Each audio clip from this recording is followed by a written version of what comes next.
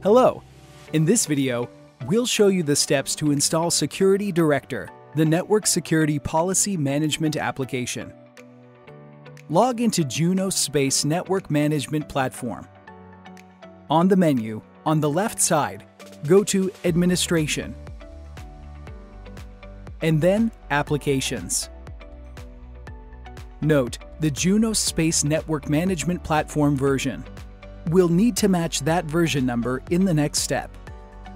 Go to the software download page and search for Security Director.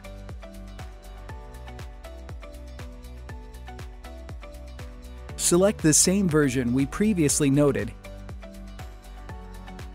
and save the release image to your local system.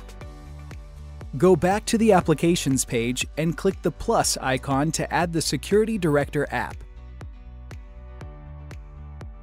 You can upload the app using the HTTP or SCP options.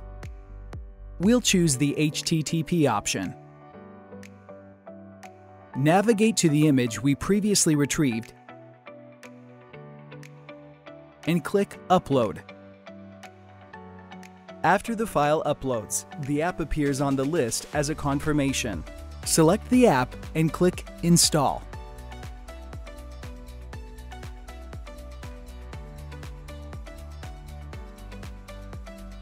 After the installation finishes, the app is added to the list.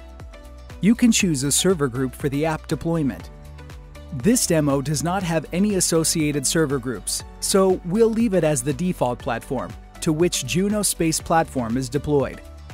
At the top of the menu on the left, we can now switch over to Security Director and begin using it.